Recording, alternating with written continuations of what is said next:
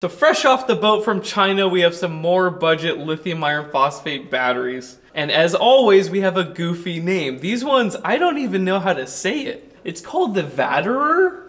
Vatterer? Vatterer.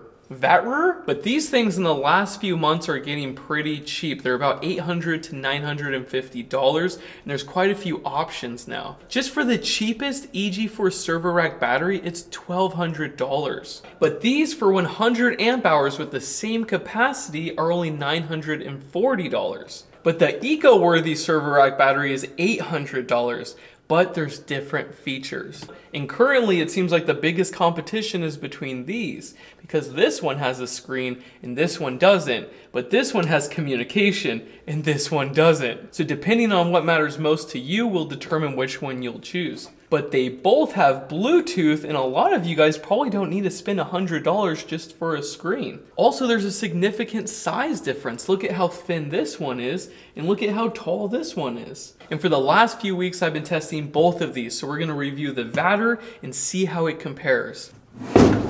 Now, first thing I noticed between these two batteries is this one says 100 amp hours, and then this one says 100 amps. Technically, they're both right because they both have 100 amp hours, and they can both charge and discharge with 100 amps, but it's pretty funny that they messed that up. Next, we have some shipping damage, unfortunately. With these large batteries, this is pretty common.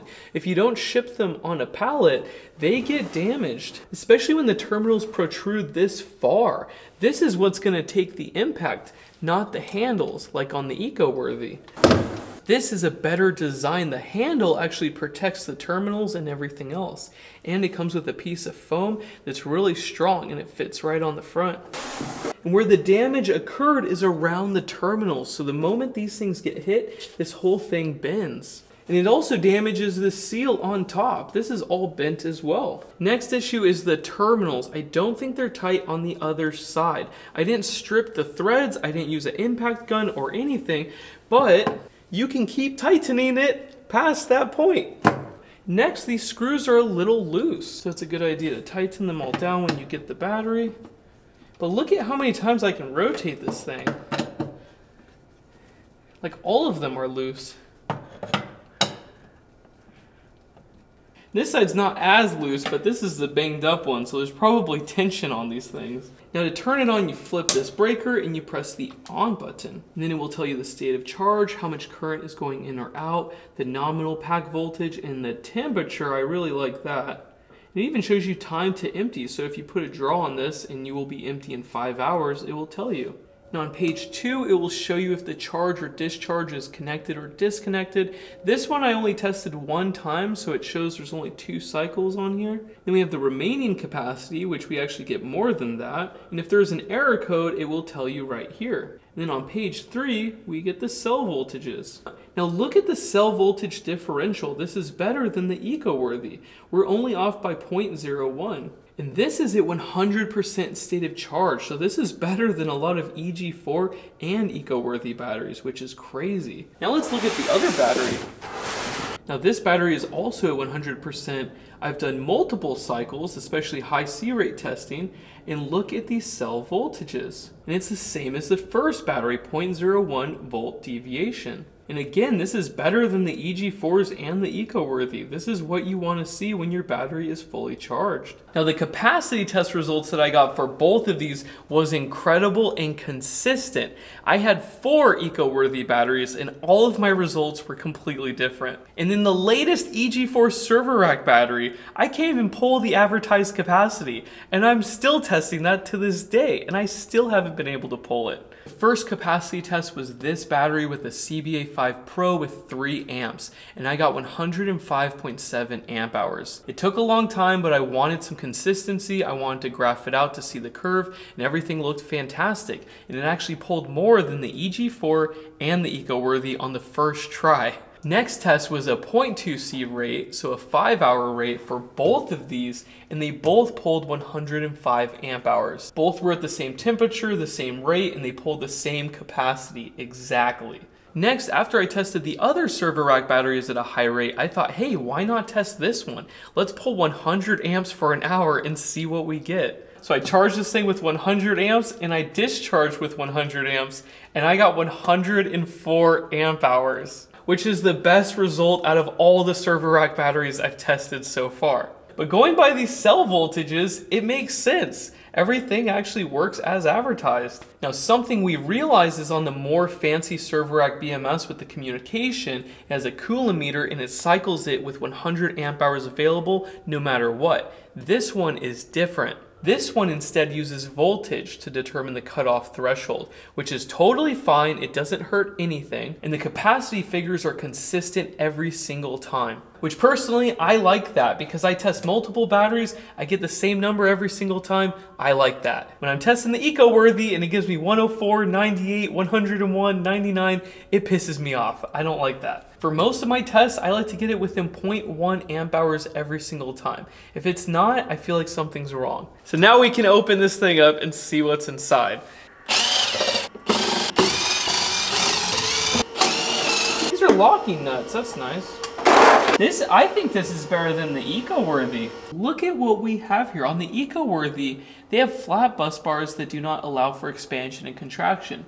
These actually have them. Next, we have locking nuts on every single terminal. Next, there's padding between the cells, and then there's plastic cell holders, and then steel bars, steel case, no open air like the eco-worthy cells. Really, this is overkill. I don't think I've seen one with this much support around the cells. This is ridiculous. And in this channel, there's holes for the overpressure relief valves. The screws and nuts are marked. These are glued. Everything up here is glued. It's really nice. Now this is a JBD BMS. And it's very common and you can either use their app or you can use the JBD app. And this is the same BMS that Overkill Solar sells. So a lot of DIY packs have the same BMS as this.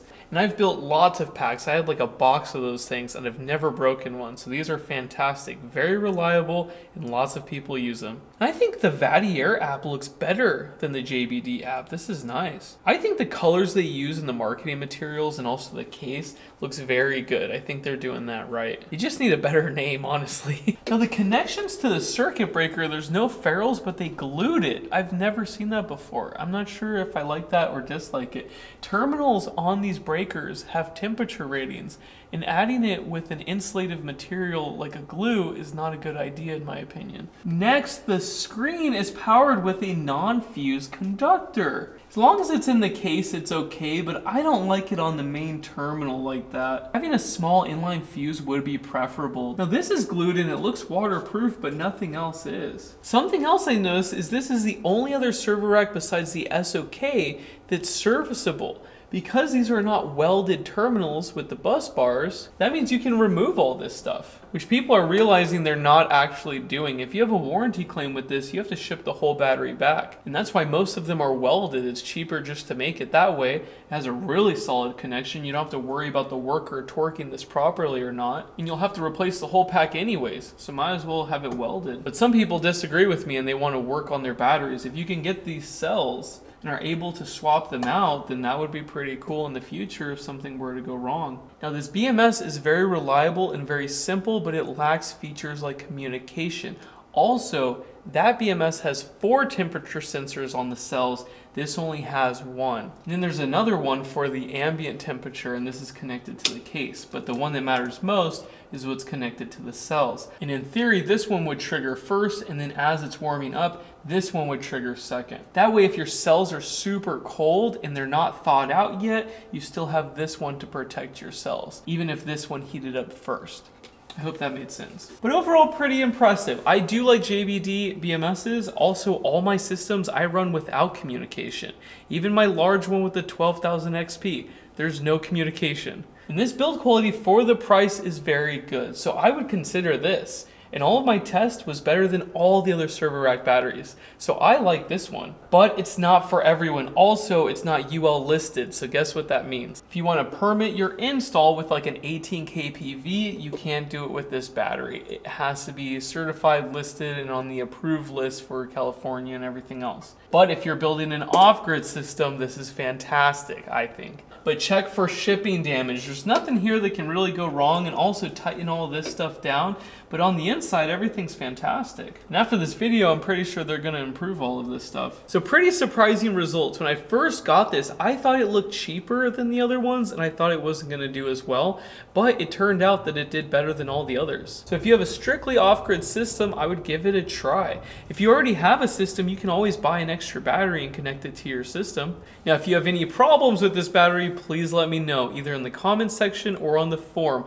Also on the forum, I have updated it. And there's a whole new section for news and promotional content. Before yesterday, this was strictly forbidden from the forum, but some people wanted it. Some people wanted the companies to give updates. They want to see what they're doing. They want inside information. So I thought, hey, we need to have a section for these people. And we even have an industry news, politics and future regulations for solar, new product announcements if you have a press release, a solar installer finder. So if you're trying to find someone to install your system, we've got that there. We've got a place where you can post online deals and you can share anything you want and now companies can as well. And then if you hate a company and you've had a lot of problems and you have evidence of these problems, you can post it in the vendor review corner. So check it out.